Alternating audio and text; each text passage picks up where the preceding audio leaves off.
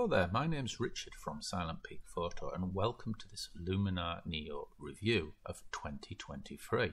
This time we're taking a look at the latest version of Luminar Neo, at least as of March 2023, which for reference is version 1.71. So let's get to it. So we begin our Luminar Neo review in our catalog view. Here we've got some rudimentary photo management. For instance, we can right click on any given photo and we can mark it as favorite, rejected or unmarked. And we can also create various different albums and drag our photos into those albums. You can create as many albums as you like and you can place any single photo in any amount of albums you like. The other thing we can do as well is search for photos. So we can click on this magnifying glass here and search for a photo by folder, name, date extension. So in this case, I'm going to type in seal and look for all photos with seal in the file name. And there we go.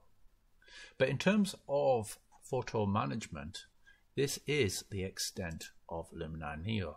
It's entirely sufficient for sort of average size photo collection. But if you were hoping for various different more advanced features such as keyword tagging, face recognition, geotagging, that sort of thing. Luminar Neo does come up a little bit short. Now having picked an image to process, so let's pick an image. The easiest way to edit a photo in Luminar Neo is via presets. Now, if you're just looking for great results without actually editing a photo, Luminar Neo's presets are pretty tough to beat.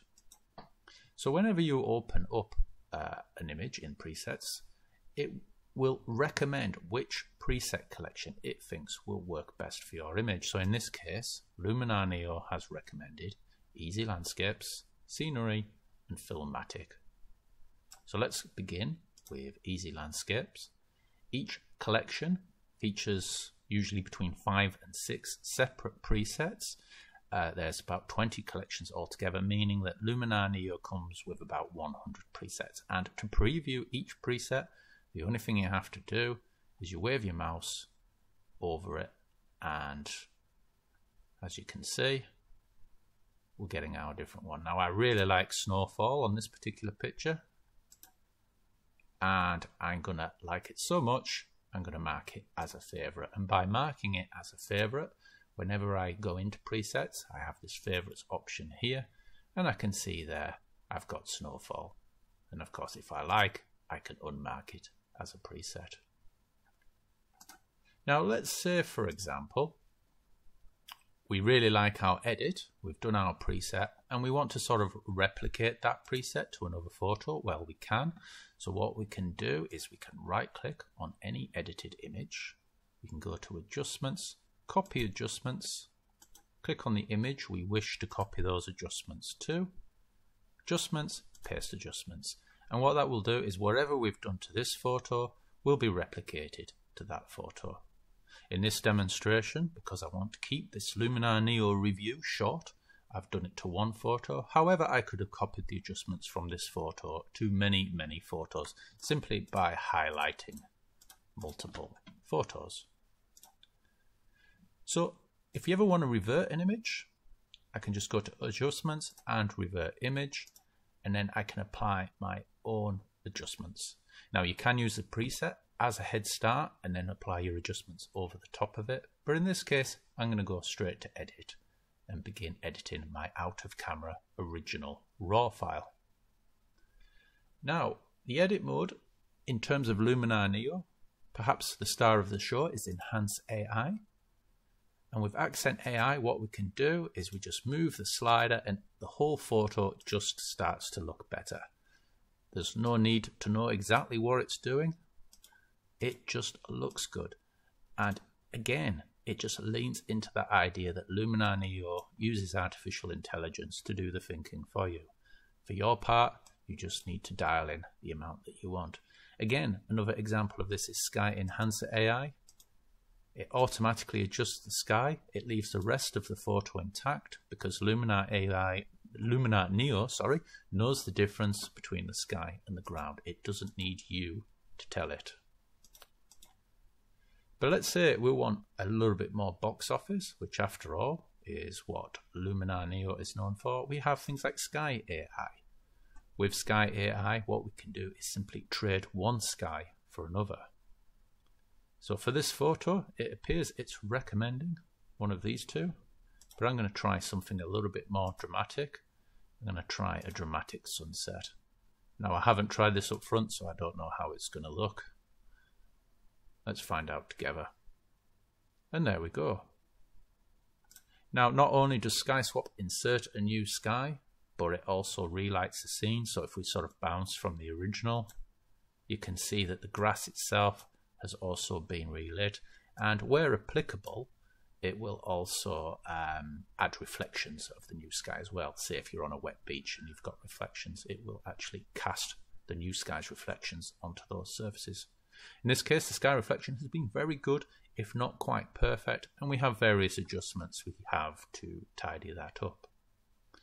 We've also got traditional tools for so for those of you who are much happier using exposure, contrast, tone curves, you are catered for here. So we can add in our own tone curves, we can do all of that traditional stuff. But the point with Luminar Neo is that you don't necessarily have to. You can, but you don't have to. At any point, we can take an image and revert it back to the original. Now, aside from sky replacement, we have all the usual sort of tricks, adding sharpness and structure. We can erase objects, we can convert to black and white. We've got various different landscape enhancements. So, for example, we can add a little bit of golden glow, sort of give it a little bit of warmth to our image. And we've also got foliage enhancer as well, which identifies and enhances just foliage while leaving the rest of your image alone. So just between these two options and say a little bit of sky enhancer, we can go an awful way without ever having to really know what we're doing. So Luminar Neo is great for landscape photography. Let's try a little bit of portraiture. So we'll begin with this photo here. So the first thing I would do with a portrait, I like to add a little bit of a vignette. Feel like it adds contrast to the subject. Top tip guys if you're new to this game. But let's have a look at the more advanced features. So Relight AI this is new to Luminar Neo, as in it does not feature in Luminar AI. And what that enables us to do is brighten our subject. So Luminar Neo automatically determines the foreground from the background and gives us independent control of them both. And here I've brightened up my subject while the background remains the original shade. So I'll go to the extreme so you can see it and I can also darken. So ideal for backlit portraits. And I can also dim the background. So let's dim the background. So you can see we're getting quite a transformative effect. And we can also adjust the depth. And we can use uh, a little bit of warmth as well. So let's add a bit of near warmth. So this should warm up the foreground a little bit. And also will cool down the background. And if we have a look at the original photo, this is what we began with. This is what we've got now. I'm not saying these edits are any good, by the way. I'm just sort of showing what Luminar Neo can do. We've also got various different dramatic tricks, potentially more suitable for landscapes, but we've got them, and you might as well use them. So, key to Luminar the reason why you buy Luminar Neo over another photo editor is its AI tricks. And in portraiture, it is incredibly well stocked. So this is not a great example, so forgive me. The background is already quite blurred on this image, but I can make it even more blurrier. So if you tend to have a lot of smartphone photos where background blur is a little bit more difficult, Luminar Neo's background blur facility is really going to help you out quite a lot. There's all kinds of things we can do. We can add the severity of the blur. So I'm going to just dial everything to 100 we can make the background um, darker, a bit like with Relight AI. or we can make it brighter. We can add highlights glow, so that means any sort of specular highlights will start to pop. We can make the background a bit warmer. We can adjust the depth, so this is making the depth of field even shallower or even deeper, depending on what sort of creative effect that you're trying to do. You might have noticed those with keen eyes as I am getting some clipping here that can be corrected with manual brushing or edge correction. But I don't really want to waste your time on that at this point. I just kind of want to show you quickly what the potential is for this system. So I'm going to revert it back to original. And finally, show you uh, Face AI. So Face AI, it is a sort of vanity tool on one hand, but it does sort of correct for some practicalities in photography. For example, lighting doesn't always go our way. And Face Light AI, I really enjoy it. It just means that if I do have some uneven lighting, Face Light AI can really make that face sort of pop out.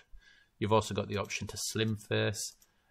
I'm not particularly fond of these features but they do have a practical application in that if you're suffering severe selfie distortion, or perhaps you've been photographed to the edge of a frame with a wide angle lens, your features aren't going to be your own, and you can use features like this to correct them. We can also add, we can enlarge eyes, we can whiten eyes a little bit. We have an eye enhancer, which will just sort of make those eyes pop a bit. Again, this is a really nice feature that can overcome poor lighting. Got a dark circles removal, which just sort of overcomes the night before, I guess. And improved eyebrows, just adds a little bit of extra definition.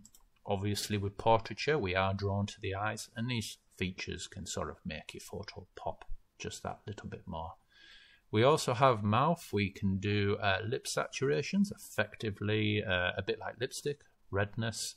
We can darken them, and we can also whiten teeth as well. So if you're after some new pearly whites, this is a lot cheaper than going to the dentist. Skin AI, exactly what it sounds. So basically, it's airbrushing, but it's airbrushing for the 21st century. We don't actually brush anymore. Luminar Neo will automatically identify your subject and its face and automatically apply the adjustments in their proper place. Shine removal, we've all been in portraits where for some reason we look sort of shiny. This will help with that. And skin defects AI will sort of remove moles. I do find this intermittent in that it can odd natu- can remove natural features, but we can tick it or tick it off, see what we think. And finally, body AI we can adjust the shape of the person so we can make them slimmer, we can make them wider. Again, can be used for vanity or to correct some kind of optical distortion. Now the final thing I would like to show you is layers. So unlike Luminar AI and like the earlier Luminar 4, we can blend multiple images together. Now I'm not going to do that in this review, but what I will do is add some fancy effects. So we've got sparklers, stardust bokeh, light leaks, flares. I'm going to add a flare. I'm going to add this one here. And I'm going to adjust its properties. So I'm going to make its opacity 100%. And we can also change its blending type. So we've got darken, lighten. For those of you who are familiar with Photoshop will be fully aware of this. But I think it worked best on screen. And yes, in case you're wondering, we can absolutely pile these effects on. So let's add another one as well. And now we're ending up with something very uh, sort of 10 years ago on Instagram. Now, as you can see, one of the main complaints with Luminar Neo is speed. Now, for what it does for as few clicks, I find Luminar Neo pretty fast, at least sufficiently fast. However, I am fully aware that not everybody feels the same and that performance does vary from hardware to hardware. Thus, I strongly recommend if you are considering buying Luminar Neo that you check out the free trial in the description below. It's 14 days, no credit card, no catches. Luminar Neo is also particularly cheap when you compare it to the competition, in particular to what it can do and how easy it makes it do. In my opinion, Luminar Neo is one of the best photo editors and almost certainly the the best photo editor for beginners or for experts in a rush. New to Luminar Neo as well, but not included, is the Luminar Neo extension pack. Now, that's very much its own review, and I have reviewed those products separately. So please check that out. But just to give you an overview, for a bit extra cash, you can get Noiseless AI, which will denoise your photos, Super Sharp AI, sharpener and motion blur canceller. You have Upscale AI, which will increase the resolution of your photos by using AI interpolation. You've got a focus stacker, HDR merge, Magic Light AI, which is uh, adds extra flashness to your uh, light points and finally an AI background removal tool. But so far, this is the latest version of Luminar Neo. It's maturing very nicely. It has now got all the features it was ever supposed to have, but yet remains in development, and there's some new stuff coming down the pipe, which we can talk about later. Anyway, I hope that was useful. Please check out the links in the description below. Give this a go. Let me know what you think and I do wish you a very good day. Bye bye.